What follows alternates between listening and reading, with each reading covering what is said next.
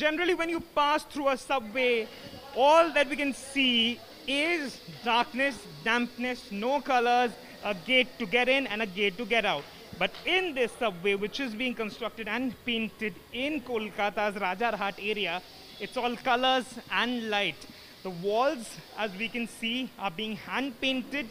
and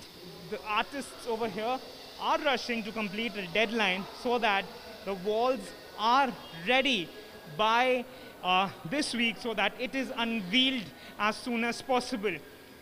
The walls over here are being painted, uh, have the uh, logos or inscriptions or images of every iconic uh, entity that Kolkata is famous for. Over here, we can see the statue of Netaji Subhash Chandra Bose, a yellow taxi, a tram, Maidan area, Victoria Memorial, and Durga, uh, Ma Durga's image that is being hand painted on these walls, which are being, uh, which are being painted by these artists, as we can see in a huge, huge deployment of artists who are rushing to complete their deadline.